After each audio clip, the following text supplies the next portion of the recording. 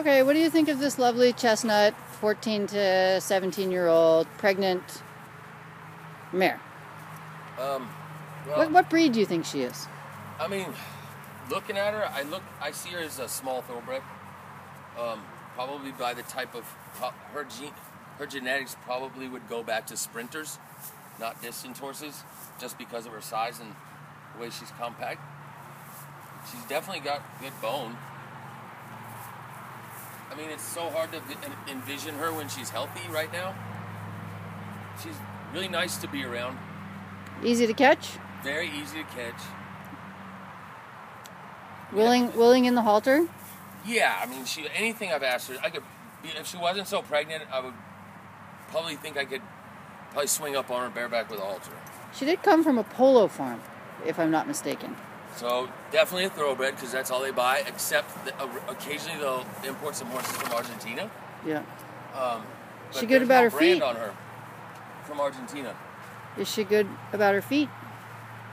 At 15, she better be. Here, Mama. Come on. Yeah, and definitely in need of some care. I'm sorry, can you say that again? Definitely in need of some some care. Okay. work. Okay. Yeah. Um. Actually, I mean, this mare's really put together well as far as bone structure. You know, the size of her neck compared to the rest of her body.